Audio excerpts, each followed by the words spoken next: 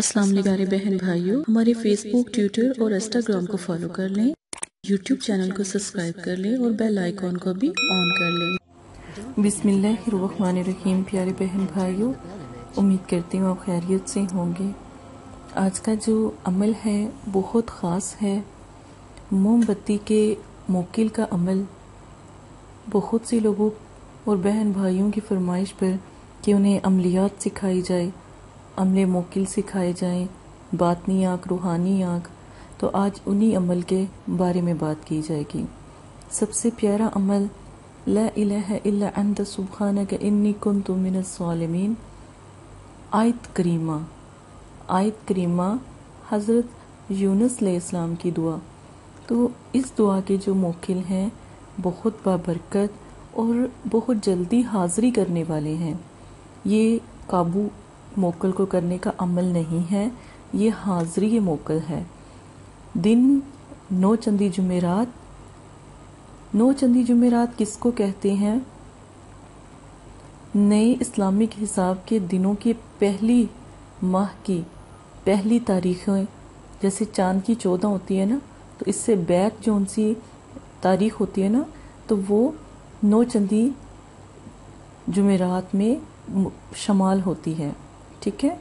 जैसा कि नौ चंदी जुमेरात चाँद की पहली से लेकर जो नौ चंदी चाँद की पहली से लेकर जो जुमेरात या जो इतवार, जो पीर, जो मंगल आएगा, वो नौ चंदी ही कहलाएगा। दिन जुमेरात का हो, पर नौ चंदी जुमेरात हो।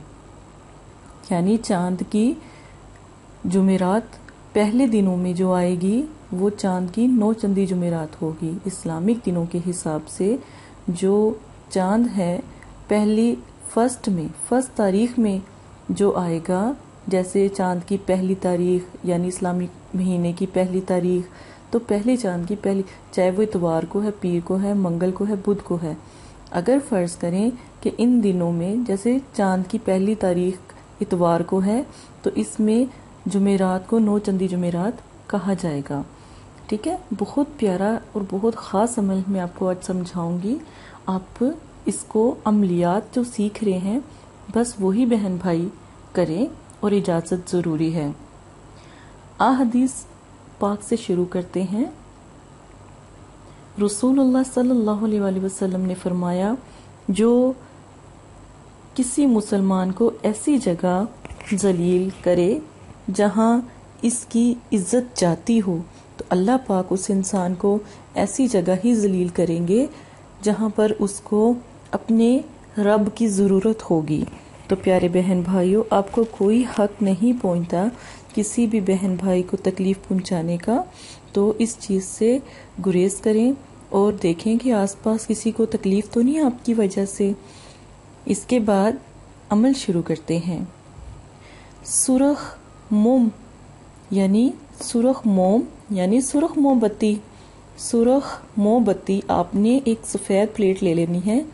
पत्थर की ले लें, पत्थर चीनी की ले लें, जैसे भी आपको मुनासिब लगे। सफ़ेद प्लेट में सुरख मोमबत्ती जला दें। ऐसी जगह बैठकर अमल करें जहाँ पर मोमबत्ती ज़्यादा हिले नहीं। ये नक्श बनाकर पहले बाजू पर बाँध लें। फिर अपना मुँह खाना कबा की तरफ़ कर लें। बस आपने मोमबत्ती में देखना है। ये अमल सात दिन का है। सिर्फ़ सात दिन ही ये अमल किया जाएगा। ठीक है? ये अमल सात दिन का है। अब आपने खाना कबा की तरफ़ मुँह कर लेना, मोमबत्ती जला लेनी है। अब आयत करीमा को अव्वल आखिर एक मरतबा दरूज शरीफ के साथ इकतालीस बार पढ़ना है। इकतालीस बार पढ़ना है। जब आप ये अमल शुरू करने लगेंगे ना, थोड़ी सी मिठाई ले आए मिठाई में सात गुलाब जामुन हो। ना बर्फ़ी हो, ना मीठे में कोई और चीज़ हो, वो गुलाब जामुन ही हो। जो भी मोकिल हाजिर होंगे, वो मोमबत्ती की लो में हाजिर होंगे। ठीक है? उसी में आपको नज़र आएँगे। मोमबत्ती की लो में जब हाजिर होंगे तो ये सात दिन के बाद हाजिर होंगे। अगर फ़र्ज़ करें आपकी रूहानियत बहुत तेज है तो ये पहले दिन भी हाजिर हो जाएँगे। ठीक है? लेकिन आपने इनसे बात नहीं करनी जब तक सात दिन ना हो जाए। सात दिन जब पूरे हो जाएँ, फिर आपसे ये बात भी करेंगे, आपकी बात सुनेंगे भी। ये बहुत आसान अमल है और बहुत से आमी लोगों का आजमाया हुआ है, ठीक है? ये बहुत आसान अमल मोकिल है। ना कि मोकिल को कैद करने का मोकिल की सिर्फ़ हाजिरी है और आयत करीमा के मोकिल की हाजिरी है। और ये बहुत आसान और बहुत रहम दिल मोकिल है। ये अमल आपको कोई भी नहीं बताएगा और ना ही समझाएगा। अब आपने क्या करना है, जो रस ये गुलाब जामुन है, ये आपने जो रखे थे सात दिन के लिए तो ये आपने, ये जब सात दिन पूरे हो जाए, मोकिल हाजिर हो जाए, बात आपकी हो जाए तो फिर आप उनसे आने का वादा करें कि जब भी तीन मरतबा आप ये कलमा पढ़ेंगे आयत करीमे का तो फिर वो हाजिर हों तो फिर वो हाजिर हो जाया करेंगे। और जो भी आप उनको काम कहेंगे, अल्लाह के हुक्म से वो आपकी बात मानेंगे, ठीक है? तो गुलाब जामुन फिर बच्चों में तकसीम कर दें।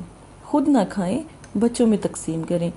ये बहुत खूबसूरत अमल है, लेकिन एक बात याद रखें, अमलियात बहुत ख़ास होती हैं। और इनको करने में थोड़ी मेहनत दरकार होती है। अगर चाहते हैं कि मैं आपके साथ खुद आपके लिए हिसार भी करूँ, मेहनत भी करूँ तो फिर आप रबता कर सकते हैं। ये तमाम अमल और अमलियात मदरसा फातमा तजारा की तरफ़ से पेश की जा रही हैं। एक दफ़ा ये ज़रूर कीजिएगा इन अल्लाह पाक आपकी मुश्किलें आसान करें। मेरी दुआ है कि आप भी एक अच्छे आमिल बने, ना कि गलत किस्म के झूठे, मक्कार और ढोंगी आमिल बनने का आपको कोई फ़ायदा नहीं। जो भी आमिल होता है अल्लाह का वली होता है, अगर वो सच्चा है तो। ठीक है? तो गलत आमिल लोगों से दूर रहें और गलत आमिल लोगों, खासकर बहनों से मैं ये बात कहती हूँ कि जो गलत आमिल लोग हैं, उनसे दूर रहें, उनसे इज्तनाब करें। वो आपकी इज़्ज़त तक को भी, आपकी आबरू तक को भी जो उनसा है, सेफ़ नहीं रखते। ठीक है? उसमें वो क्या कहते हैं, क्या नहीं?